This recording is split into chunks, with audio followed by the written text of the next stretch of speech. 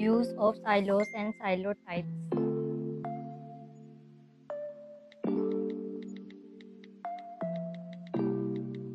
What is silo?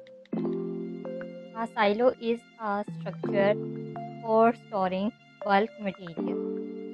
What is silage? Silos are used in agriculture to store grains for fermented feed is known as silage.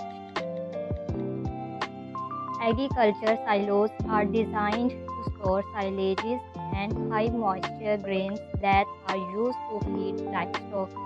Silos are also a critical element in the overall operation of the grain storage.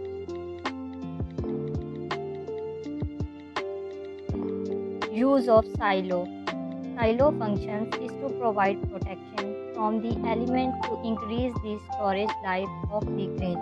Silos or monitoring equipment used in track both the temperature and the quality of the grain. Use store grain, powders, fermented feed, animal slurry.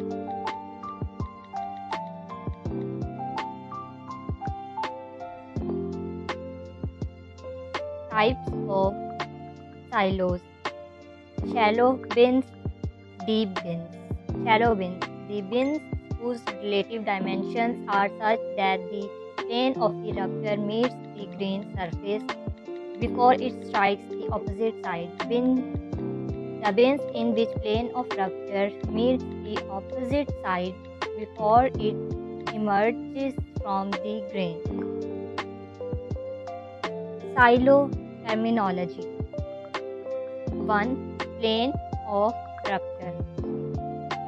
The plane of rupture is that surface down which a wedge of material bounded by one wall face the free surface and the plane of rupture would start sliding if the bonding wall were to move. 2. Angle of repose.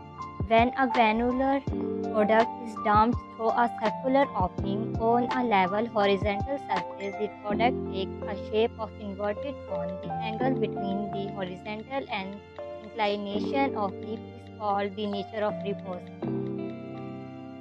Like and subscribe. Thanks for watching.